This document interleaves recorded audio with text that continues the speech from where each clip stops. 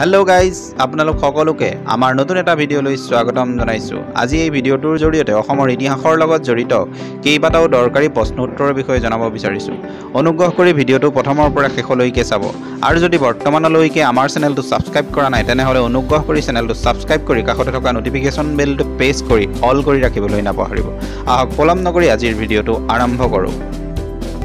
আজিৰ প্ৰথম কুৱেশ্যন হৈছে স্বাধীন অসমৰ প্ৰথম মুখ্যমন্ত্ৰী কোন? উত্তৰ গোপীনাথ বৰদলৈ। অসমৰ প্ৰথম চাহ খেতিয়ক কোন? জগন্নাথ বৰুৱা। অসমৰ পৰা প্ৰথম ৰাষ্ট্ৰপতি পদ অলংকৃত কৰা অসমীয়া কোন? ফকৰুদ্দিন আলী আহমেদ। কোচ ৰজা মল্লদেৱে কি নাম গ্ৰহণ কৰিছিল? মহাৰাজ নৰনাৰায়ণ। অসমৰ কাক লোকপ্ৰিয় বুলি কোৱা হয়? গোপীনাথ বৰদলৈদেৱক শৰাইঘাটৰ যুদ্ধত আহোমসকলৰ সেনাপতি কোন আছিল? লাচিত বৰফুকন। হিউৱেন চাং অসমলৈ অহাৰ সময়ত কামৰূপৰ ৰজা কোন আছিল? কুমাৰ ভাস্কৰ বৰ্মন। কিমান চনত মহাত্মা গান্ধী অসমলৈ আহে? ঊনৈছশ একৈছ চনত। অসম সাহিত্য সভাৰ প্ৰথম অধিৱেশন কিমান চনত বহে? ঊনৈছশ সোতৰ চনত। কিমান চনত ইংৰাজসকলে পিয়লি ফুকনক ফাঁচি দিয়ে? ওঠৰশ আঠত্ৰিছ চনত।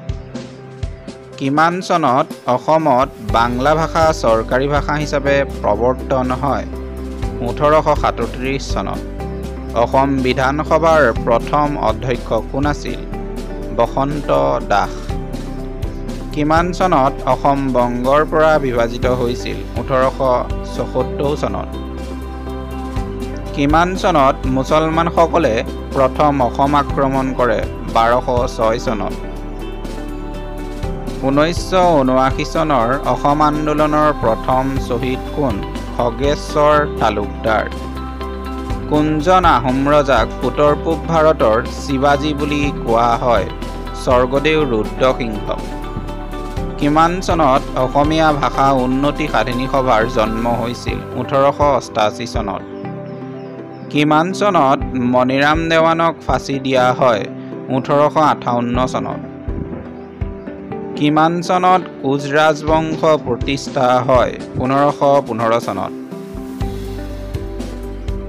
আহোম সাম্ৰাজ্যৰ শেষ সম্ৰাট কোন?